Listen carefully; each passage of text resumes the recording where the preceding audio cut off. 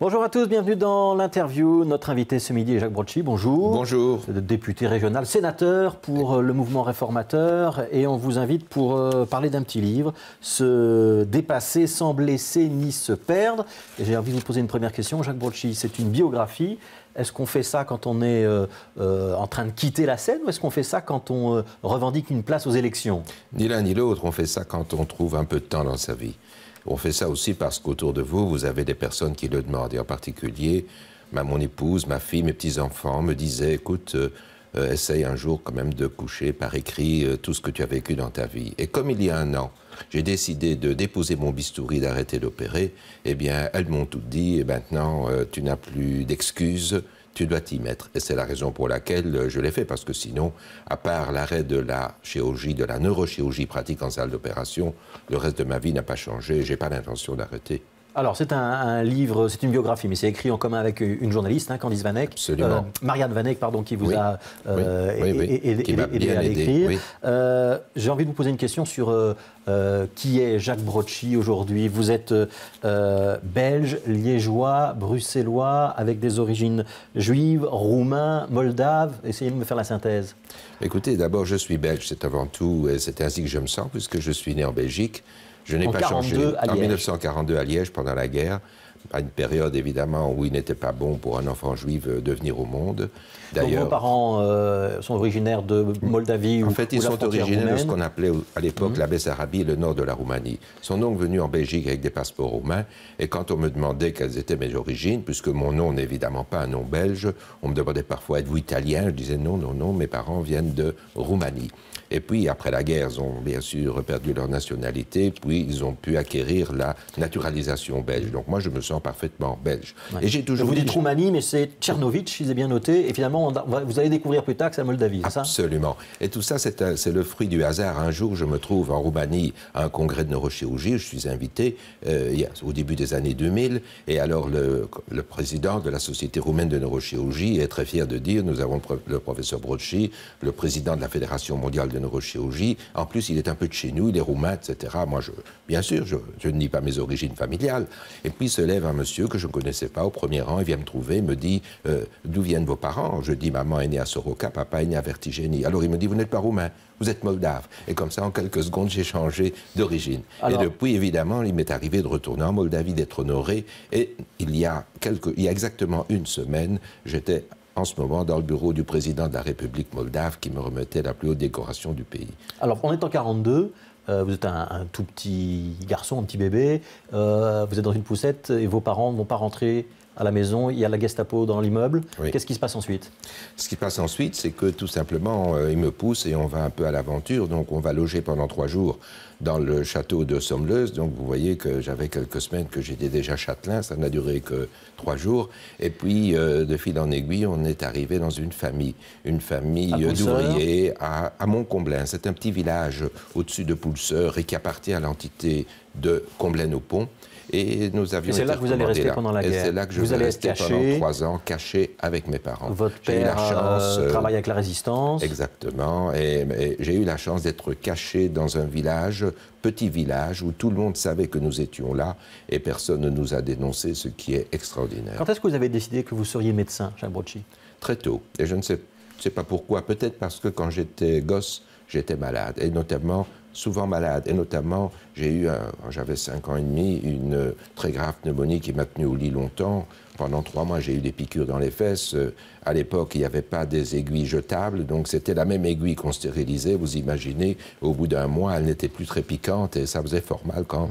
quand on me piquait. Et alors, je, je, trouvais que le médecin de famille qui venait faisait un métier merveilleux. Alors, euh, j'ai dit euh, à ce moment-là, tout jeune, je veux être médecin. Mes parents ont essayé de m'en dissuader parce que, comme ils étaient dentistes tous les deux, connaissaient un petit peu ce qu'est la vie dans le corps médical. Ils voulaient que j'ai une autre vie que celle où on sonne à 10h ou 11h du soir à la porte pour être soigné. Mais moi, j'étais têtu, donc euh, je voulais être médecin. vous avez donc abandonné la pêche et le football, qui étaient vos passions d'enfance Oui, oui, oui. Pour certains disent que d'ailleurs, j'ai dû hésiter à un moment donné entre la carrière footballistique et la carrière neurochirurgicale. Euh, alors, on ne va pas faire tout le parcours, euh, mais vous faites votre thèse en 79, en 1980, vous arrivez à l'ULB, ce sera ERA, ce sera votre carrière, et vous serez neurochirurgien. Euh, on parle beaucoup de rats dans, dans le livre, c'est un animal qui vous accompagne dans vos études, ça hein? Mais j'ai fait, du, fait du labo. En fait, pour tout vous dire, je ne connaissais pas l'existence de la neurochirurgie avant d'avoir le cours. Mais ce qui m'a fasciné quand j'ai fait mes études de médecine, c'est d'avoir le cours d'anatomie du système nerveux. Et alors, c'était en deuxième année de médecine, j'étais fasciné par cette organisation, les neurones, les connexions, etc.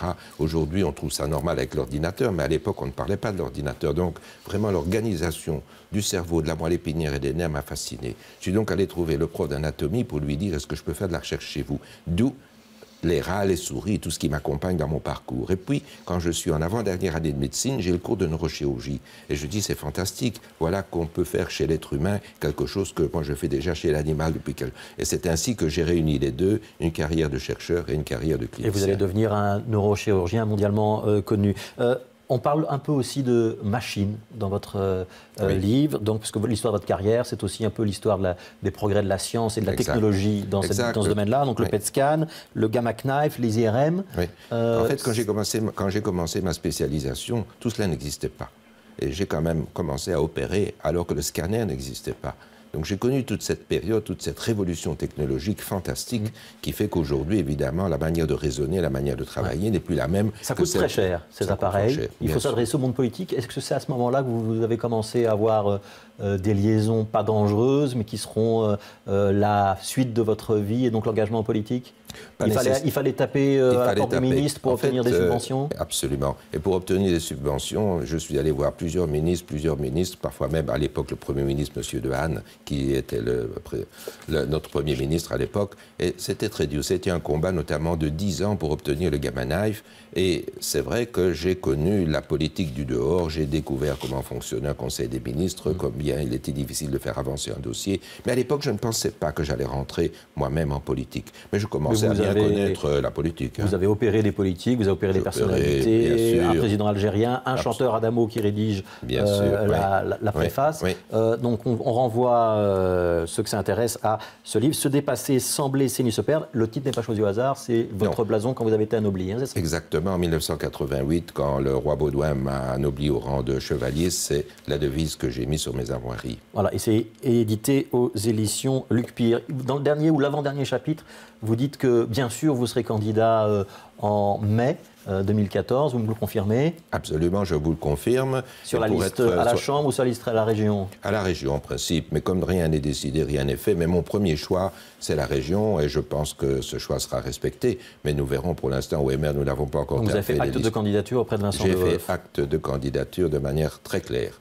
Et je suis arrivé en politique un peu par hasard. Comme je le dis dans mon livre, en 2004, mhm. Louis Michel m'a contacté. Vous êtes d'abord candidat à l'Europe oui. puis ça ne se fera pas, et finalement vous serez sénateur coopté. Exactement. Exactement, et j'ai été coopté sénateur et maire en juillet 2004. Quel est l'intérêt pour vous Au Sénat, vous avez euh, euh, mené euh, différents débats, réflexions sur l'euthanasie, les soins palliatifs, tout ce qui concerne les matières éthiques. quel est l'intérêt pour vous d'aller au Parlement régional bruxellois? Parce que d'abord, j'y suis déjà pour commencer, parce que je suis député régional bruxellois. Je suis également député à la communauté, l'ancienne communauté française, qu'on appelle Parlement Wallonie-Bruxelles, et je suis sénateur de communauté. C'est intéressant de pouvoir analyser, de suivre une matière de façon transversale. Parce que comme vous savez, malheureusement, tout est saucissonné. Et en ce qui concerne la santé, il m'est arrivé plusieurs fois de déplorer la balkanisation, c'est le mot que j'emploie. Mais vous n'auriez pas envie d'aller à la Chambre pour parler de, de santé? Mais pour l'instant, avec la réforme de l'État, il y a quand même un transfert de compétences qui fait que les régions vont avoir plus de, plus de pouvoir, plus d'intérêt pour les matières santé.